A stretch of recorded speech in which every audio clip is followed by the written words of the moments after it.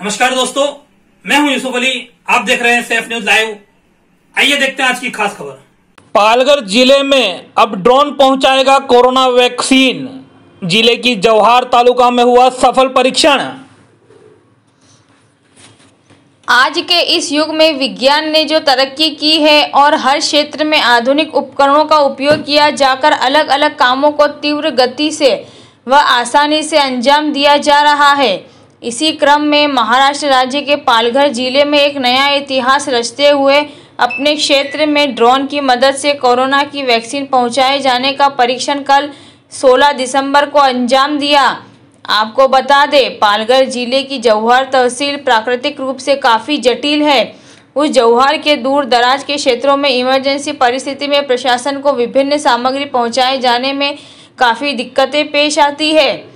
इसी बात को ख्याल करते हुए प्रशासन ने जौहर अंतर्गत कोरोना वैक्सीन को एक जगह से दूसरी जगह पर पहुँचाए जाने हेतु ड्रोन का परीक्षण किया।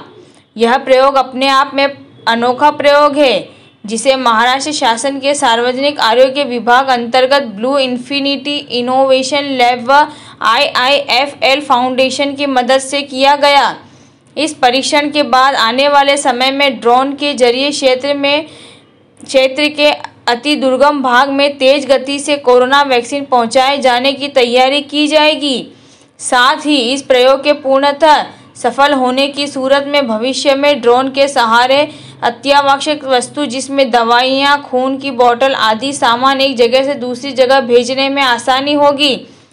इस परीक्षण उपक्रम में डॉक्टर प्रदीप व्यास, अतिरिक्त मुख्य सचिव सार्वजनिक आरोग्य व डॉक्टर रामास्वामी आयुक्त सार्वजनिक आरोग्य तथा अभियान संचालक एनएचएम इन अधिकारियों की संकल्पना एवं मार्गदर्शन में पालघर जिला के आरोग्य विभाग ने जिला परिषद के सहयोग से आयोजित किया।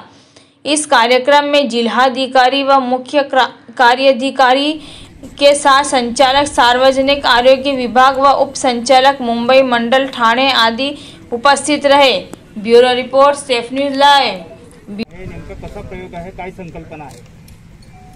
महाराष्ट्र लसीकरणात सदैव अग्रेसर राहिलेला आहे. आपल्याकडे साडेतीन हजारपेक्षा जास्त कोल्ड चेन पॉईंट्स आहेत आपण आठ लाखपेक्षा जास्त दरवर्षी लसीकरण सत्र घेतो. अनेक ठिकाणी आपल्याकडे ते रिमोट भागामध्ये सब सेंटरला आपल्याकडे रेफ्रिजरेटरची व्यवस्था नव नसते.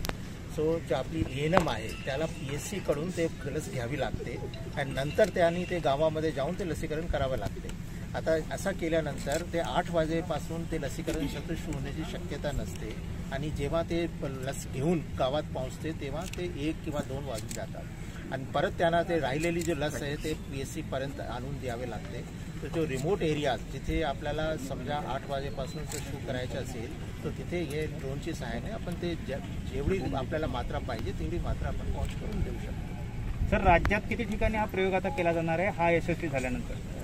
तो आता आम्ही ठरवलेला नाही आहे आता याची कॉस्टिंग वगैरे आम्हाला बघावं लागेल. आता तो प्रायोगिक तत्वावर आहे. आता सध्या याचा काही खर्च राज्य शासनावर नाही. आता याने ते प्रायोजित त्यांनी ते प्रकल्प उभा केलेला आहे. आणि या प्रकल्पाची ते पाहून आपल्याला की याचे काही आपल्याला कशा कशा म्हणजे याचे आपल्याला चांगले परिणाम मिळतील त्या अनुषंगाने आपण पुढची कारवाई करू. सर काय कॅपॅसिटी आहे या ड्रोनची किती लस आता सध्या जो यांनी वापरलेला आहे तिथे पाच किलो ते म्हणतात. आणि त्या पण नंतर याचा एक प्रकल्प आहे की याची कॅपॅसिटी पण वाढवू शकतात. आणि सध्या आपण यामध्ये तीनशो तीनशे डोजेस ठेवलेली आहे कोविड वॅक्सिनची तर किती किलोमीटर कॅपॅसिटी आहे जाण्याची? पंधरा ते वीस